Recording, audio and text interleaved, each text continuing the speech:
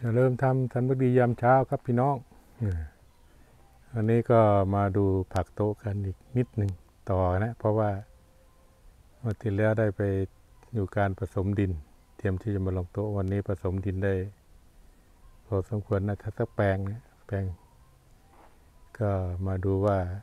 ก่อนที่จะเอาดินลงแปลงเนี่ยเราทำยังไงเนี่ยอันนี้เป็นแนวคิดที่ผมคิดนะครับว่า ใช้หลักการเหมือนกับเพิ่มมาการเจอเหมือน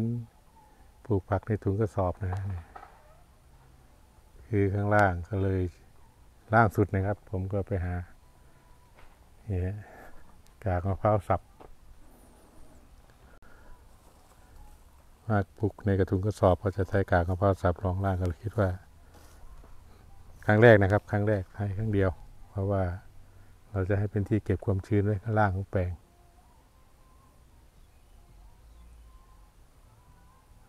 เป็นครั้งแรกที่เราจะทำแปลงครั้งแรกเราใส่ไปก่อนนะเพื่อให้ เป็นยิงระยะยาวของแปลง แล้วอันต่อมาก็ใส่นี่ครับฟางฟางนี่มันฟูนะครับ เดี๋ยวใส่ดินเข้าไปแล้วก็จะยุบลง ใช้มะพร้าวสับนี่ครับมะพร้าวสับลงพื้น ก็จะเป็นแหล่งความชื้นของแปลงไว้ข้างล่าง แล้วก็ใช้ฟางฟางคลุมทับอีกทีหนึ่งพอคลุมทับเสร็จเนี่ยนะนะนะตัวนี้ครับนี่อันนี้คือดินที่เราผสมแล้วเนี่ยหน้าตาก็จะประมาณนี้ครับเพื่อนโอ้ยังอุ่นๆนะครับเนี่ยแล้วต้องหมักไว้สักห้าวัน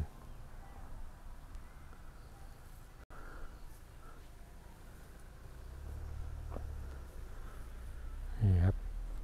ก็จะเห็นตัวผสมที่เรานั่คือจะมีอย่างนี้คือฐานที่เราแช่จุลินทรีย์ไว้ ฐานย่อยเล็กๆเนี่ยจุลินทรีย์ก็จะเป็นบ้านให้ให้อยู่ในอาศัย มีความชื้นมีอาหารเขาก็จะออกมาทำการกระบวนการโดยธรรมชาตินะครับก็คือประมาณนี้ครับเนี่ยสมแล้วก็ดินเนี่ยมาสักสิบเซนแต่ฟางก็จะยุบนะครับ หลังจาก ใช้ไปแล้วมันจะย่อย มันก็จะแน่นตัวยุบ ปลูกครั้งแรกแล้วก็ปลูกไปก่อน แล้วเราก็จะต่อปลูกไปก่อนเสร็จแล้วขอไปครับปลูกไปก่อนเสร็จแล้วเราก็ พอมันยุบเราก็ผสมมาเติมทับบนนะฮะก็คลุกใหม่ หรือไม่เรามีสูตรของเราจะใช้เป็นซ้อล่องปลูก เติมปุ๋ยจุลินทรีย์แล้วก็ปลูก พอยุบก็เติมเข้าไป คุมด้วยฟางเขาหมุนเวียนนะอย่างมากถ้ามันยุบเยอะๆก็ผสมดินมาเพิ่มนิดหน่อย หน้าดินมาเพิ่มนะนี่นะครับ ก็จะทำอย่างนี้ทั้งหกแปลง คิดว่ากลางเดือนหน้าน่าจะได้เห็นผักกันนะ ปีใหม่ก็คงจะได้ ห็นผลผลิตของผักกัน นี่คือท่อวางระบบน้ำของเรานะครับนี่เป็นอย่างนี้เราวางท่อ PE ข้างๆฮะ PE ประมาณนิ้วหนึ่งข้างๆเนี่ยแล้วเราก็เดี๋ยวตอนที่จะทำสปริงเกอร์ก็จะนั่นอีกทีหนึ่งเพราะว่าเราถ้าเติมดินนี่สมมติแล้วเราก็จะตัวสปริงเกอร์ เพื่อลดน้ำหมักทิ้งไว้สักทุกวันนะฮะเพราะว่า จุลินทรีย์อยู่ข้างล่างมันต้องการความชื้น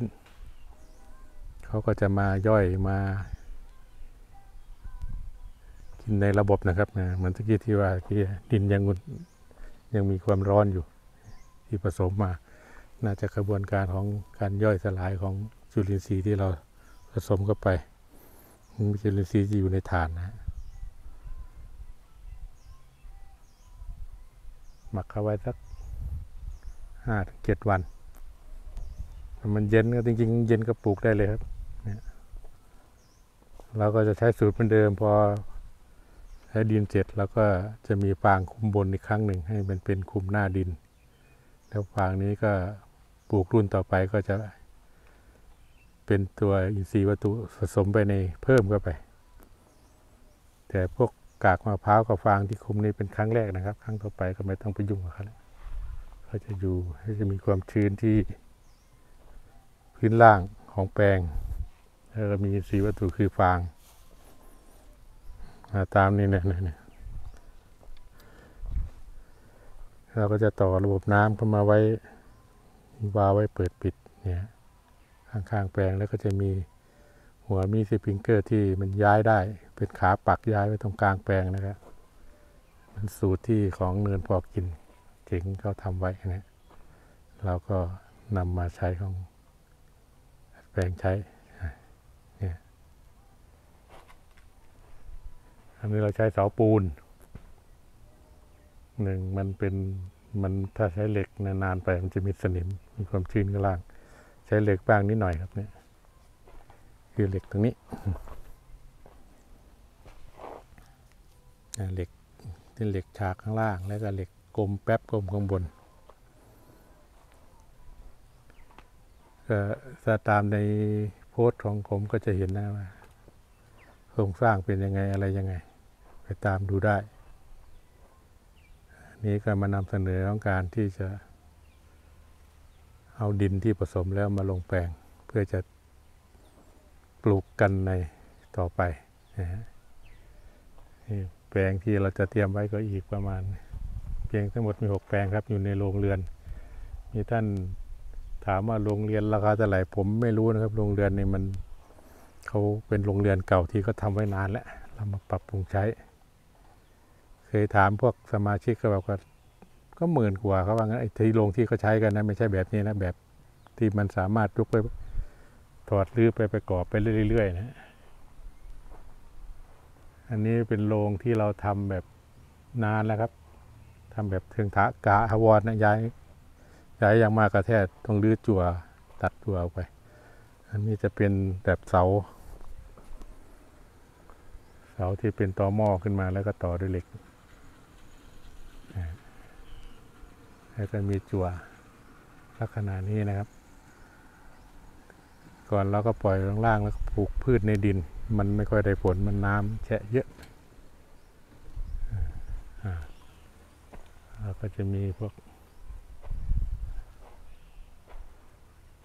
ได้ไหมอ่ามาดูนี่รถเราเกะกาป่ะฮะรถมอเตอร์ไซค์เกียร์กาไหมอันนี้รถรถไฟฟ้าที่ดัดแปลงครับพี่น้องรถมอเตอร์ไซค์เก่ามาดัดแปลงใช้ระบบไฟฟ้าอ่า วางเดอร์ที่จะซ่อมนี่เราก็คิดว่าที่เว้นทางไว้นี่คือเพื่อกิจการนี้แหละครับ เวลาขนปุ๋ยขนดินมาใส่แปลงมันก็แล้วก็เวลาขีดพ่นจุลินทรีย์ก็เราจะใช้รถไฟฟ้าทุกจุลินทรีย์มาพ่นลงเสร็จก็ขนจาก ที่เราผสมอยู่ที่โรงเรือนทางนู้น เอามาใส่แปลง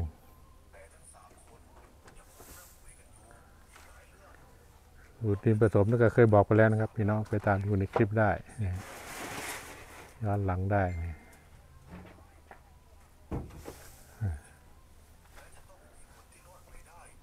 ฮะมันฟูๆพอเจอดินปุ๊บก็ยุบลงไปเลยครับ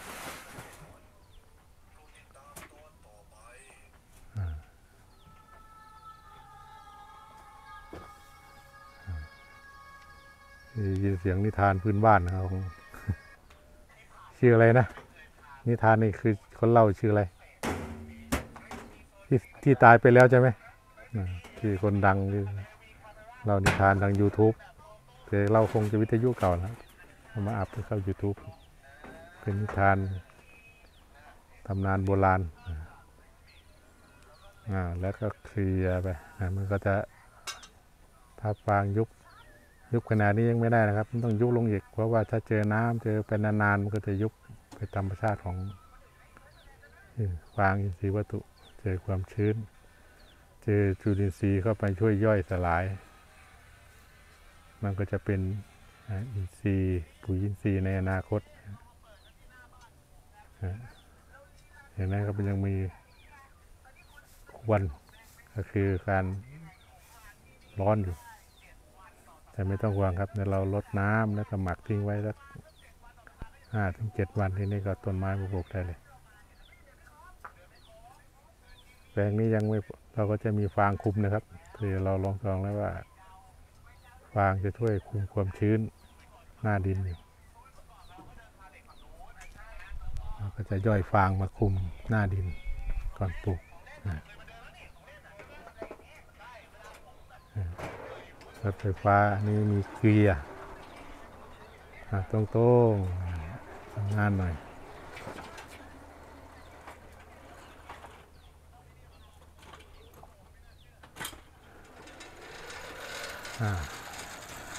สำหรับเช้านี้ก็ประมาณนี้นะครับ เดี๋ยวก็มีอะไรก็จะไล่ให้พี่น้องท่านติดตาม เพื่อไปดัดแปลงใช้งาน เอาไปเป็นใช้งานที่จะปลูกผัก ไม่จำเป็นต้องอย่างนี้นะครับท่านบางท่านก็บอกว่าโอ้ลงทุนมันจะแพงไปอะไรไม่เป็นไรครับถ้าทำตามหลักการก็คือ ยกพื้นขึ้นมา ยกพื้นขึ้นมาจากให้มันสูงจากดินทำอินทรีย์วัตถุ ให้มันให้พืชนะครับ แล้วผสมดินไม่ใช่เอาดินใส่นะดินธรรมดาในมานะหนักตาเนี่ย แล้วรากพืชมันก็จะไม่โต เพราะว่านานๆไปมันจะแน่น นี่ขนาดผสมอย่างนี้แล้วมันนานๆไปยังแน่นครับ แต่เราไม่หมั่นเติมเข้าไปเพราะรากพืชที่เราปลูกไม่สิบสิบห้าเซนนี่ยรากเขาไม่ไกลไม่มาก เราเติมมีสีวัตถุให้เขาหลักการประมาณนี้นะครับว่าหนึ่งทำพื้นยกโต๊ะขึ้นมา เพื่อประโยชน์ของมันคือหนึ่งโรคแมลงโรคบางอย่างไอ้เมื่อว่าแมลงบางอย่างที่มันอยู่ในพื้นเนี่ย อย่างแปลงที่ปลูกที่พื้นนะครับ ปลูกมาเอาลงปุ๊บหายหมดพวกจิ้งหรีดตะกะแตนที่อยู่ในหญ้าเนี่ยมันขึ้นมากินวันเดียวคืนเดียวก็หมด อันนี้ช่วยได้โรคหน้าหน้าฝนก็จะมีทากเราก็หาที่ป้องกันไม่ให้มันปีนขึ้นมาได้ จากประสบการณ์ที่ปลูกผักโต๊ะอันแรก ๆ นะครับเข้าใจ แต่พวกแมลงปีกที่มันบินมาไข่ อันนี้คือต้องดูแลระบบ อย่างผักคะน้าเห็ดหอมเนี่ยช่วงกลางๆ แปลง น่าจะเป็นจิ้งหรีด ผมเคยไปพ่นจุลินทรีย์แล้วเจอ จิ้งหรีดมันโดดสูง มันจะโดดจับจากกิ่งไม้อะไรบ้างมันลงมาหาอันนี้เราต้องอาศัยประสบการณ์ครับ ข้างๆนี่พยายาม ปลูกพืชที่มันให้โล่งๆแล้วก็ปลูกพืชที่มันเป็นสิ่งแวดล้อมที่จะช่วยเอื้อกับแปลงผักของเราว้าวเช้าวันนี้สำหรับนี้วันนี้ก็ประมาณนี้นะครับจะมีอะไรก็จะนำเสนอกันต่อไปขอบคุณเพื่อนๆที่ติดตามนะครับเจริญธรรมทำนึกดีครับ